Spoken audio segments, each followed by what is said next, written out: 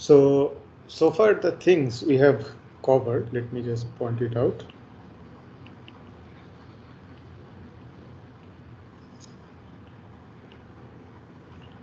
Are the following that molecular structure and molecular properties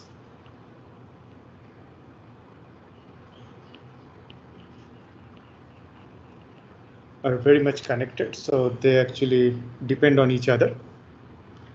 So there is a close connection between them. And one of such molecular properties that we can follow to understand what is the structure of the molecule, what is the orientation of the molecule is chirality and we are mostly interested in chirality because this chirality can be used as the biosignature, this sign of life, because most of the important factors that actually considered as the building block for cellular life, such as amino acids and proteins, carbohydrates, and nucleic acids. They are all known to form chiral molecules, especially when they form their polymeric structure. And over there, we have specially looked into the D and L amino acids. And we have also looked into the functionality the effects, I would say, implications of D and L amino acids on life. So over there, one of our goal is to how to follow chirality. And one of the way we can easily follow chirality is by following something called CD spectroscopy. But before we go to CD spectroscopy, the last class we have learned what is a light matter interaction and what is happening in the molecule level during a simple optical absorbance. So up to this part we have studied and today we'd like to go into a little bit more details what happens in a chiral molecule, especially the phenomena we have all know optical rotation. Why does it happen? So let's go into the details. So what we have known so far that if we really want to observe a optical absorbance for a chiral molecule, one thing we actually need is called linear polarized light. Linearly polarized light.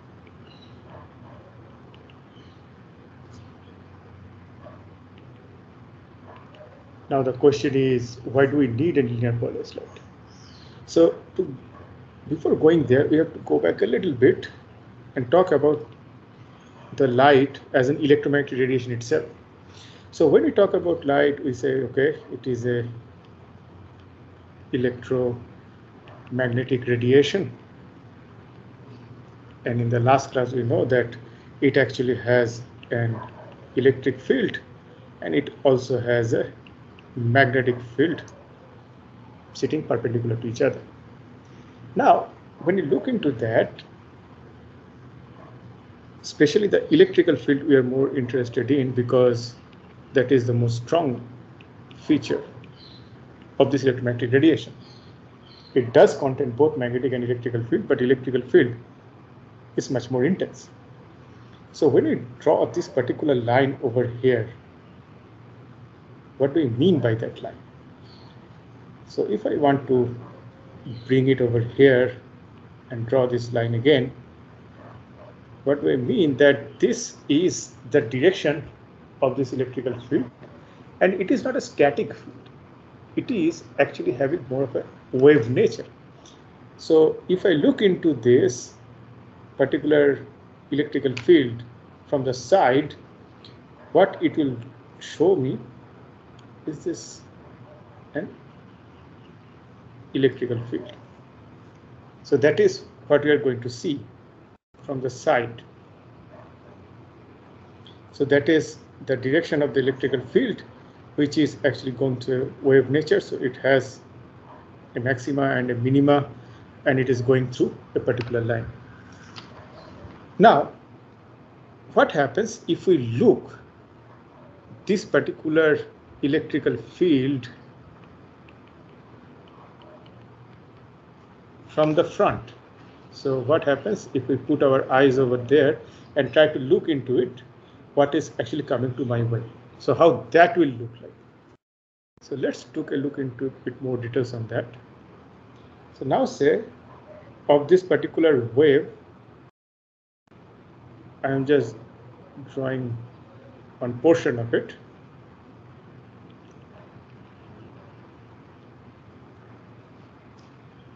So over here, this is the maximum.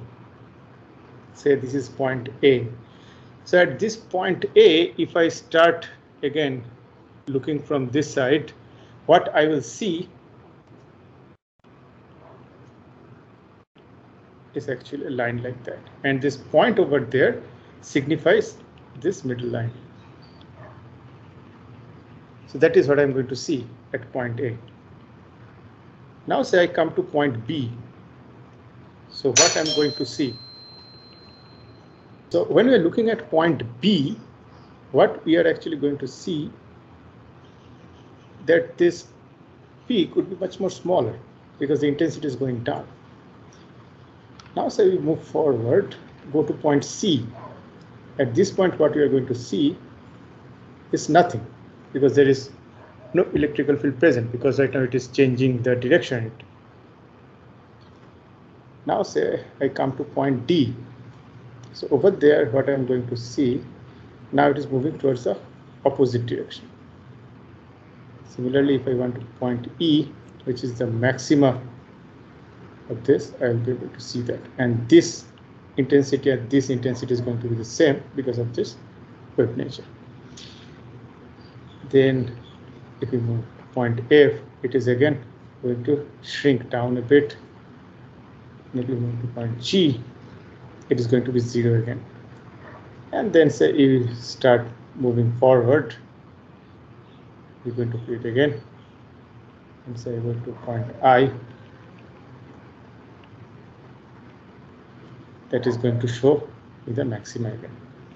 So altogether, what I'm going to see is that this is going to start from a very high amplitude, then it slowly goes to zero, then goes to the opposite direction, again slows down, comes to zero again, and moving forward. So altogether, what I can say, if I combine all these things together, because now when I'm looking from the front, I'm not going to see them in different points. What I'm going to see, they're actually going to fit on top of each other.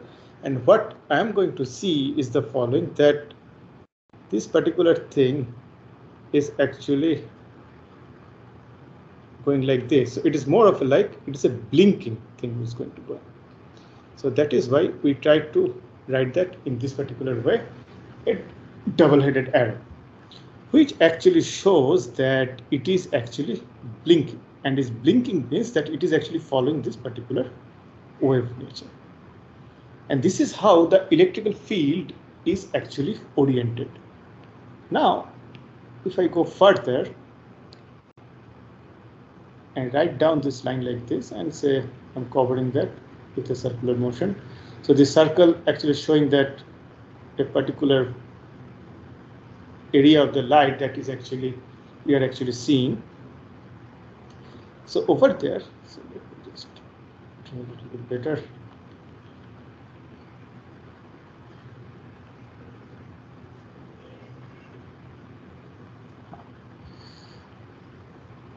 So over here, what we are going to see that this particular line is actually showing that if I see the electrical field up front, I'm going to see this is actually blinking along to this particular axis. This is the electrical field, how it is coming up. Now, when a light actually comes up, it is not like it is going to show electrical field one particular direction. It is possible to have this electrical field in any possible direction. All possible direction you can think about. And this is something known as unpolarized light. So you can think about what I am actually saying that this electrical field I was talking about if I see from the side, it is not only happening in this particular direction, it is happening in this direction, in this direction. So all possible direction, I'm not drawing any more, otherwise it will be very busy. So it is possible that the electric field, the wave is coming in all possible directions. And that is how the unpolarized light looks like. And that is how we actually represent them because that is the electrical field. And electrical field is the strongest feature of the electromagnetic radiation. So that is why we are representing only that. So that is how a unpolarized light look like. Now, if I take this same unpolarized light, it's written over here,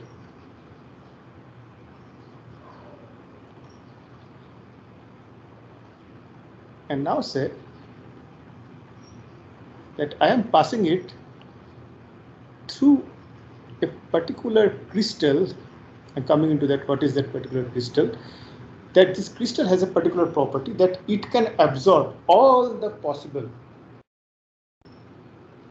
electrical fields in all direction except one. And what will happen when it passes through it is the following.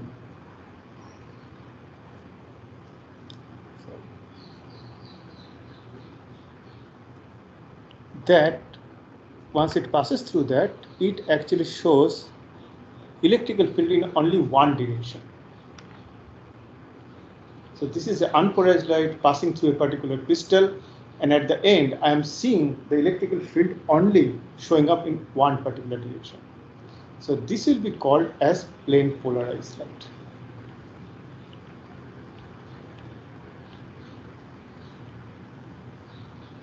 And this particular crystal is known as polarizer. So what is the role of this particular polarizer? I'm not going into the detailed physics of it, but if you think about it, it is like a comb that we use to brush our hair.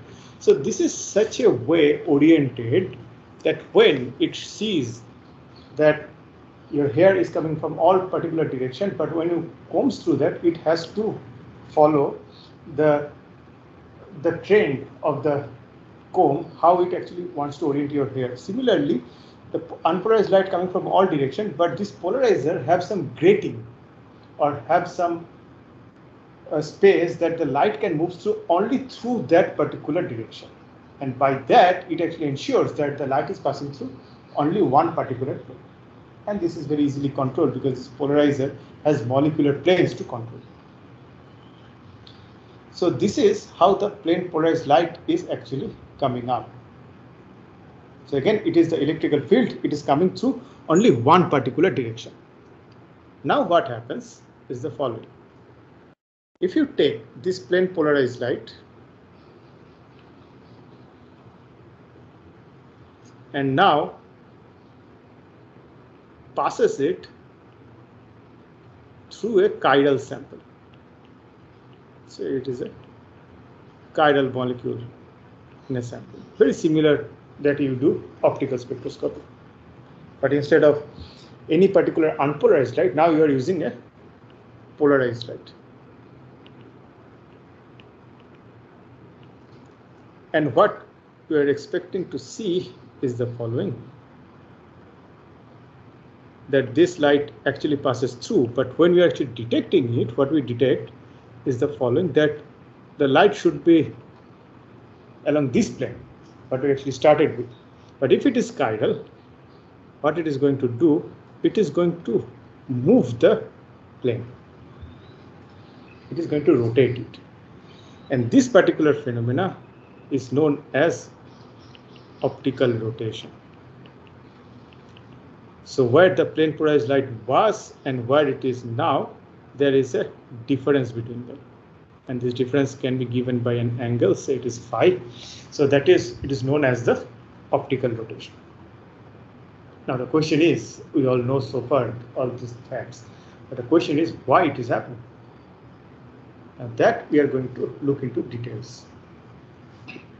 So, so far we have discussed that this chiral molecule can show this optical rotation. And if you have two different enantiomers, so say this is enantiomer A, and there's another one enantiomer B, they are going to show similar rotation but exactly opposite direction.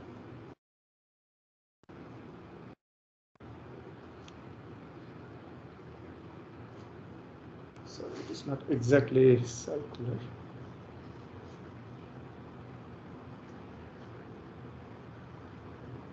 So over there, previously the polarized light was like this, but once it is rotated, one is this way, the other will be exactly the other way if all the other factors remain same. That means the concentration, temperature, everything remains same. This angle is going to be similar magnitude, but opposite in direction. So say one of them, I am showing it as positive, one of them showing it as negative. So that is what we also know. The question is that why it is happening? Why a chiral molecule can induce optical rotation?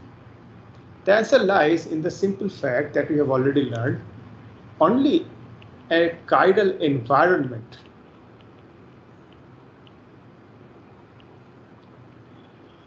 can detect chiral molecule.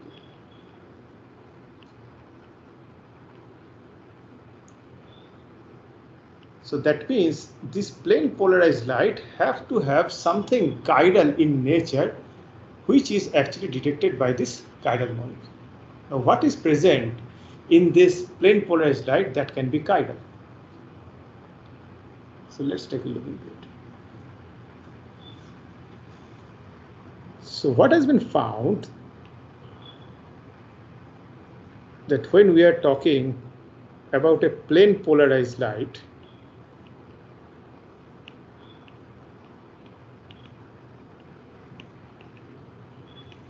that can be seen as a superposition of two different circularly polarized light. What do we mean by circularly polarized light? So, so far, I was talking in such a way that the electrical field direction is actually only blinking in this particular position over here at a particular plane.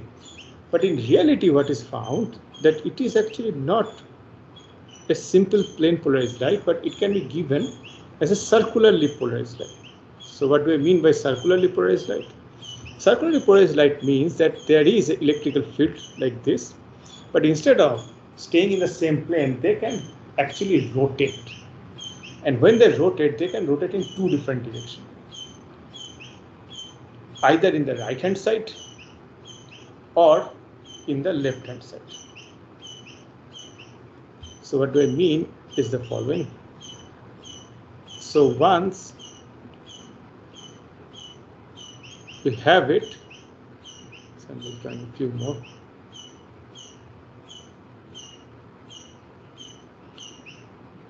So this particular line over here is actually going to rotate like this in the right hand direction. On the other hand, this one is going to rotate on the left hand direction.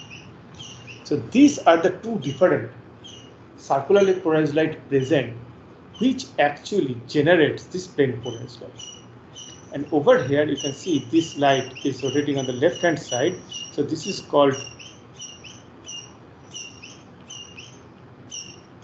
the left hand circularly polarized light. Sometimes the hand is taken out, so it is known as LCP. And this one, on the other hand, is known as the right hand circularly polarized light. or known as RCP. And this superposition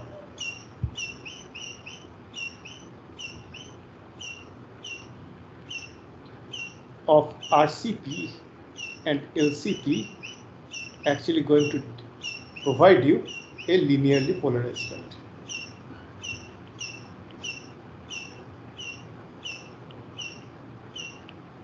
Now how that actually works. So let's actually draw this at different level and see how it is actually going to work. So what we are actually saying at this moment that the plane polarized light we are seeing, it is nothing but actually a superposition or combination of two different lights which are actually rotating in nature, actually rotating, not just blinking in a particular plane. And one of them rotate on the right hand side, one of them rotate on the left hand side. So how they actually going to give me a system, a plane polarized light. So what I'm going to do over here, going to draw different versions of right hand circularly polarized light.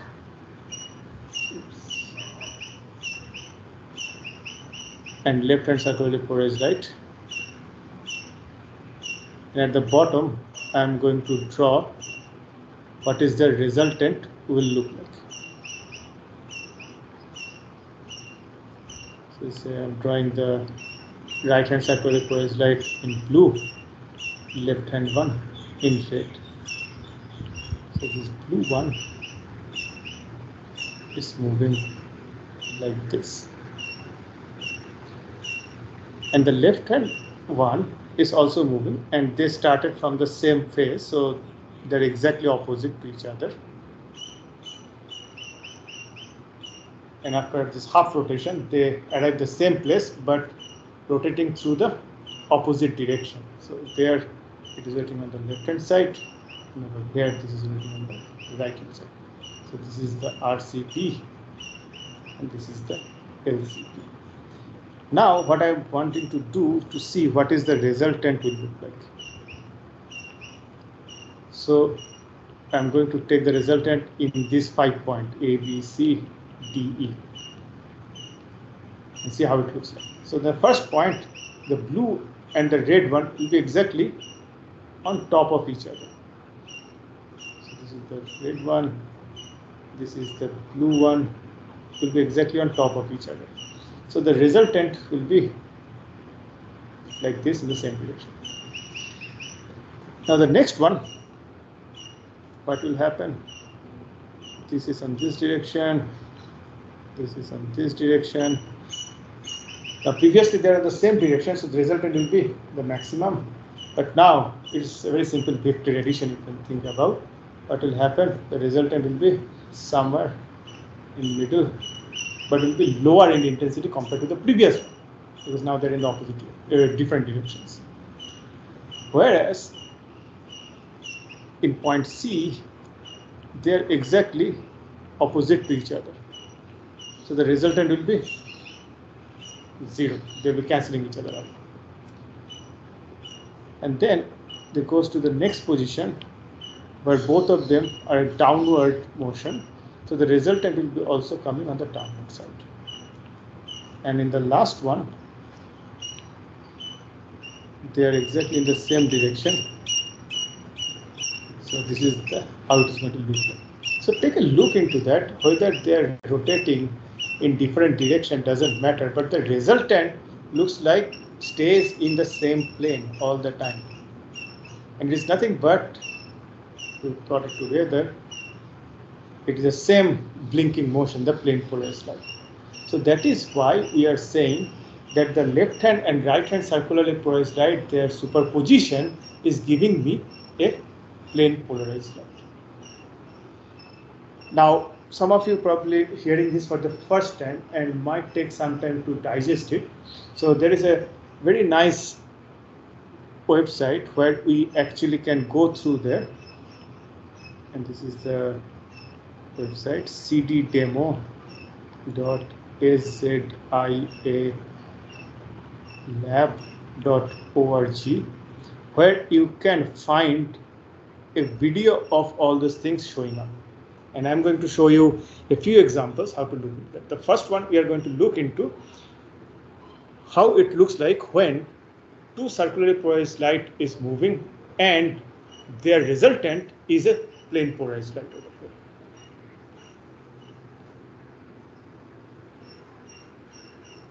So let's take a look into it. So over here you can see there are, look into the first on the right hand side figure, the simple one. So the green one is actually rotating left hand side motion. The red one is rotating on the right hand side motion. And the blue line is the resultant. You can see in the same phase they are moving on the opposite direction and the resultant is nothing but a plane polarized light. And on the left hand side they are actually showing how a circularly polarized light actually looks like. So it is actually moving forward while it is taking a circular motion. So it looks like more of like a spring, a helical structure. So the green one is moving on the left hand side, red one is moving on the right hand side. And as a resultant, what we are getting this plane polarized light, if I look from the side, it will look like it is creating this wave, the blue color wave staying in the same plane. So that is why we can say that when we actually superimpose two different circularly polarized light, it is actually going to create this plane polarized light. So later you guys can take a look into it and find out a better idea on this particular part. So any questions up to this part? Why we can explain a plane polarized light by superposition of two circularly polarized light? Because that is how it is actually behaving. Okay. So now, and over there I'm going to draw that how it actually looks like if I look from the side so from the side, the right hand circularly polarized light will look like this, moving on the right hand rotation. So it is kind of rotating right hand side and you are moving forward at the same time. So it is going to uh, provide a helical structure. Over there for the LCP, it is exactly going to be the opposite one. So it is also moving forward while making a left hand turn all the time. So that is how this RCP and LCP actually looks but when you look actually from the front side, it is going to show me this kind of simple rotations. And this is what it looks like from the side view. And this one are actually the front views. Okay, so that is how this left hand and right hand circular polarized light is actually behaves. Now you can see over here this right hand and left hand circular polarized light are actually exactly opposite in nature and not only that they're actually chiral because you cannot really superimpose this RCP over the LCP